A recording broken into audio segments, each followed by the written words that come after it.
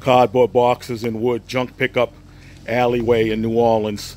Customer called us because the trash wouldn't take all this.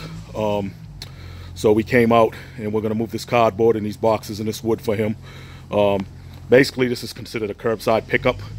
Give us a call for all your junk removal needs or dumpster rental. Uh, New Orleans, Slidell, Covington, Gulfport, Junk Bus, 504 322 4959 or 888 759 Junk.